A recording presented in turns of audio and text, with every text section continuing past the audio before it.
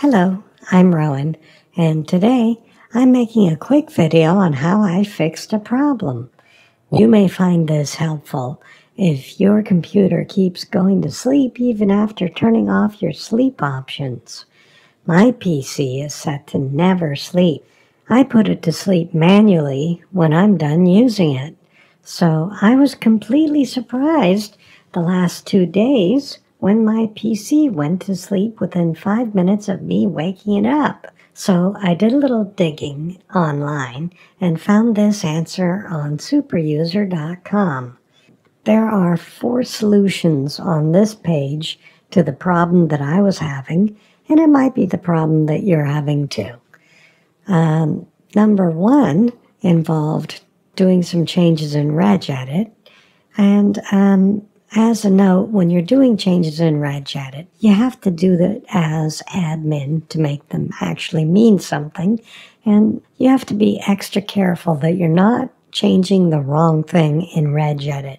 You can mess something up pretty badly and then not know where you changed it to fix it back. So be very careful with solution number one. What we need to do here is we need to get into regedit. We need to enter a specific uh, file path in regedit and change it from a 1 to a 2. And then we need to go and check some stuff in a control panel. Okay, so we need to actually load regedit. That's over here. Let's type in regedit and then we need to run it as administrator. There we go. Now, I've already got the path here. I've also got it listed down below in the description, but I'm going to copy it anyway, and I'm going to click into here, going to start at H key local, change out anything that we had in there, put in the new one and hit enter, and that'll take us right back to where we were. But that's okay. The next step is to go into attributes and double click on that and you'll see that it brings up a little tab and right now it's set to 2, which is what you want it to be. Uh, originally when I came in here it was set to 1, but we want it to be set to 2 and we click OK. Now, we're done in regedit. Let's close regedit or at least minimize it for now. And now we need to go into the advanced power settings. Let's bring up control panel. There we go. And now let's type in, oh, there it is, power. And now let's go into our current plan, which is sleep when I want it. We're going to change the plan settings. All right and we're going to set that. Right now it says 20 minutes. Put the computer sleep never. Change advanced power settings. And we'll bring this up. And so I'm not blinding you all. There we go. Now we want to go to the sleep settings and you'll see that there are three items in here now. We now have system unattended sleep timeout, which we're going to hit a plus on and you see, I've set it to 1440 minutes. That's the number of minutes in a day. So right now, if I leave my computer unattended for an entire day, it will go to sleep. Yay. That's what we wanted it to say. When I first came in here this morning, it said two, as in two minutes. Yeah, that was pretty lame. Thank you, Microsoft, for hiding critical things that randomly take effect. Yeah. Now, if you change that number, come down to apply and click apply. So, that is solution number one. All right. Now let's scroll down to solution number two. Number two says, uh, open Start menu, search for Control Panel, go to Appearance and Personalization, change Screen Saver. Click on Change Screen Saver under Personalization.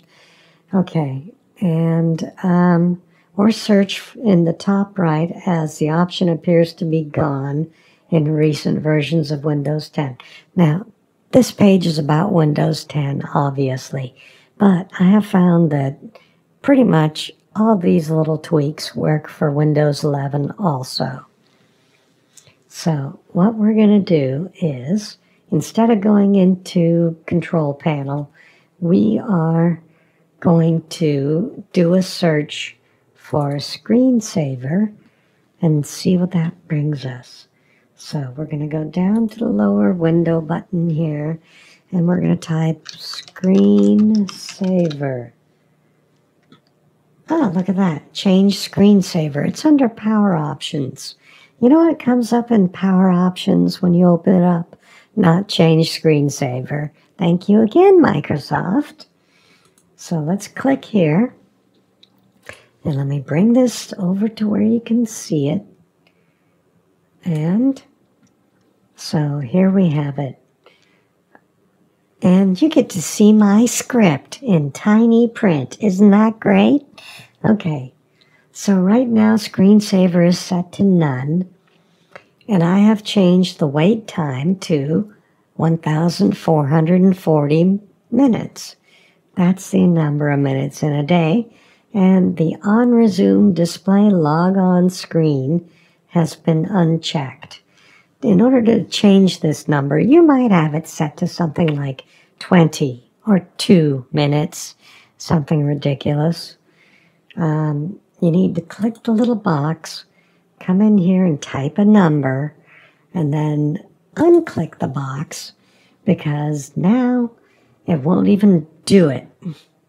Or you could click on this, hit apply, and then click on the little checkbox so it doesn't even try to do this, and then hit apply.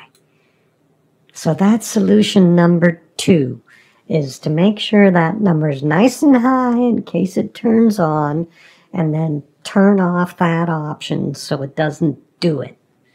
So let's scroll down to solution number three of four.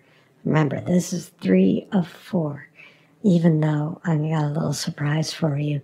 Number four talks about something we already did. That's okay. We'll do it anyway. we'll do it live. Yeah. okay, so number three down here, sorry. For those of you that end up here and still experience Windows 10 locking the computer, um, have a look at sign in options, WinKey, then typing sign in options, scroll down to dynamic lock and uncheck the allow Windows to lock your device automatically. All right, so this is actually fairly up to date. So if we go to the Windows menu and we type in sign, do they put a hyphen in there or not? Oh, yes, they do. In options. There we go. It's the first item. Finally, a direct path, right? Um, those aren't sign in options. It's okay. We'll type that again. Sign dash in option. Uh, no, no. Thank you, Microsoft, for changing things. so let's type in dynamic.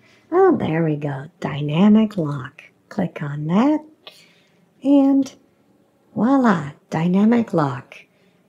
And we've already unchecked this. Allow Windows to automatically lock your device when you're away. Seriously, Microsoft. How many ways do you want to lock my device? Why? Why? Why? You know, I understand. You want to push everyone to this new system. But it's all over the place. And you have you have more dead chromosomes than the human genome. You know that? Bunch of dead ends that aren't even being used anymore. All right, so if we click on this, it, it says it's not working because your PC has no paired phone. Well, I never intend to pair my phone on Microsoft's level. Luckily, I can just come in here and uncheck that button again, and we're good. That is solution number three. Number three. Three, three fingers, see? Not an AI. I can actually, I can actually have up to five and not six in one hand. Yeah, yeah, okay. so, three, three. Dyslexia, sorry, three. Okay, so let's close this and look at number four. Scrolling down to number four. Another possible answer is to increase the sleep timeout. You see, system unattended sleep timeout. Yeah, um, I think it was number one where we decided to up the number. They set it for 9999. Um, I found that, I found that maybe that's the biggest number. Maybe I had an extra digit. But um, number four is actually something we did in number one. So actually there's only three solutions here. But hey, that made this video shorter, right? Yay! so I have, of course, put links in the description to the super user page, as well as the file path to the regedit entry. And um, I'm going to have to stress this again, that you should understand that any changes you make in regedit can be dangerous. Be sure you are editing the correct entry and make notes. That way, you know, if you are editing the wrong one or if you are making a change that caused an unintended consequence, you can go back and change it back. All right? So, I hope this video has helped you solve a problem or at least pointed you in the right direction. And even if it didn't, I enjoyed wasting time with you today and look forward to the next time I can help. So, until then, bye!